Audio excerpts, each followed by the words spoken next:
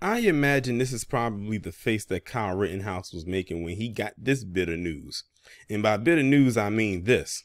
A judge has ruled that a wrongful death suit against Kyle Rittenhouse is going to proceed because apparently one of the dads of the, one of the guys that was killed by him had filed that motion to go that filed that suit against him and it, at first it was kind of up in the air of whether or not it was going to happen but apparently the judge saw fit and saw enough there for them to go forward.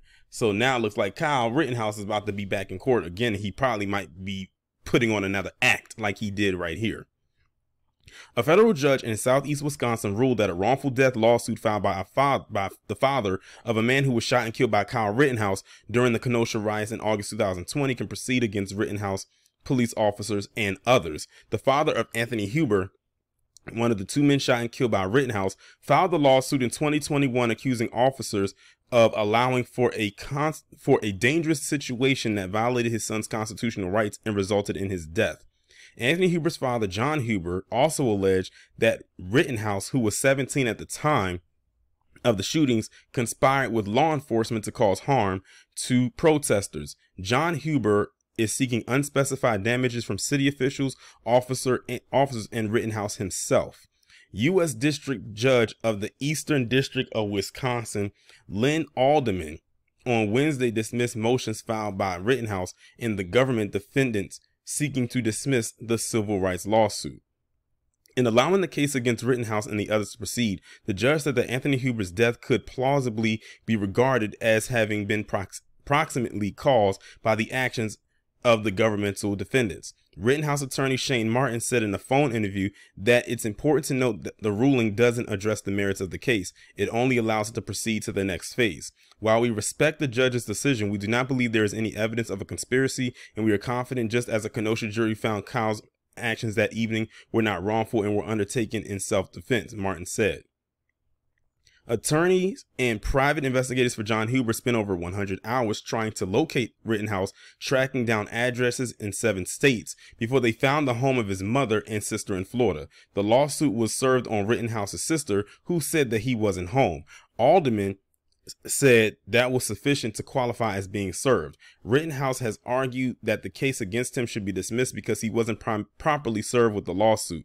Adelman dismissed that, saying that Rittenhouse is almost certainly evading service. Rittenhouse has been deliberately cagey about his whereabouts, Adelman wrote. Although he denies living in Florida, he does not identify the place that he deems to be his residence. Attorneys for the law enforcement and government officials being sued did not immediately return email messages seeking comment.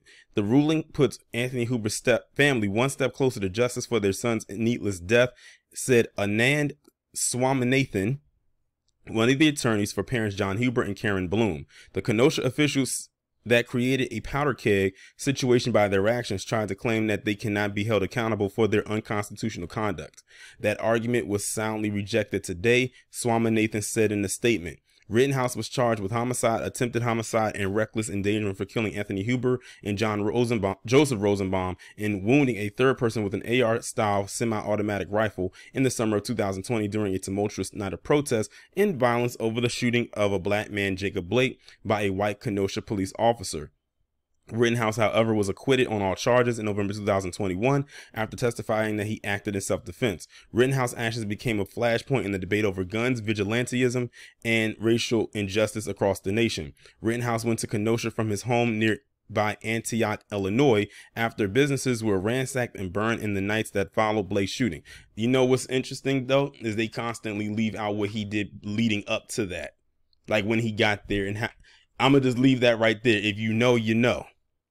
He joined other armed civilians on the streets carrying weapons authorities said was illegally purchased for him by a friend because he was underage. Rittenhouse first killed Rosenbaum, age 36, in the parking lot of an auto dealership, and as Rittenhouse ran from the scene, he stumbled and fell. Anthony Huber, age 26, struck Rittenhouse with a skateboard and tried to disarm him. Rittenhouse fell to the ground and shot Anthony Huber to death and wounded demonstrator Gaige Grosskreutz eight, I, I, probably messed up his name, age 27 in the arm. Video footage of the incident captured on smartphones by some in the area went viral on social media. This case is one of several ongoing civil lawsuits filed in the wake of the shootings. Grosskreutz, who is seeking to change his name because of harassment he's faced, last year filed a similar lawsuit against Rittenhouse. Rittenhouse has maintained a high public profile, particularly on social media, where he is an outspoken advocate for gun rights, and he has nearly 1 million followers on Twitter and has spoken at conservative gatherings. Rittenhouse has also vowed to sue some celebrities and media figures. In early 2022, the firearm Rittenhouse used was destroyed by the Wisconsin State Crime Lab. You know what I find to also be interesting? Remember how I keep telling you how white people can be on cold with each other when it comes against us? This is one of those times where they was on cold with each other to be against each other because the three people that were either a killed or wounded by Rittenhouse were all white men.